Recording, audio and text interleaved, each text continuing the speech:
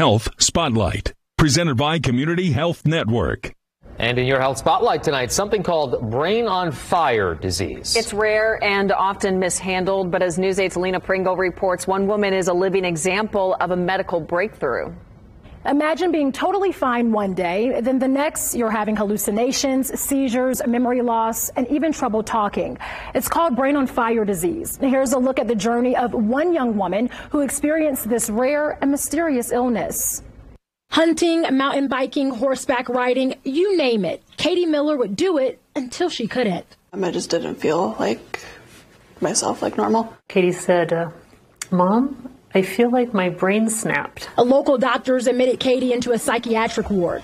But what was happening to her wasn't mental, it was physical. What happens is you're perfectly normal one day, and uh, suddenly overnight, um, this person can become paranoid can start having visual hallucinations, auditory hallucinations. Anti NMDA receptor encephalitis, also known as brain on fire disease.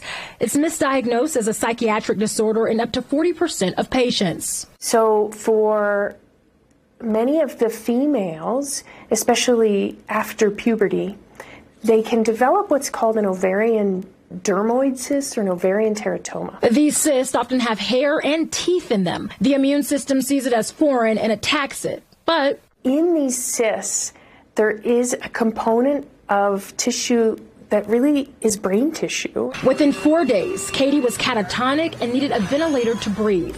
There is no single approved treatment. That's why a five year nationwide clinical trial is testing whether a drug called inebilizumab will stop the assault on the brain. Katie had her cyst removed. She can't remember three months of her life, but now, with various medications, Katie is on her way to recovery.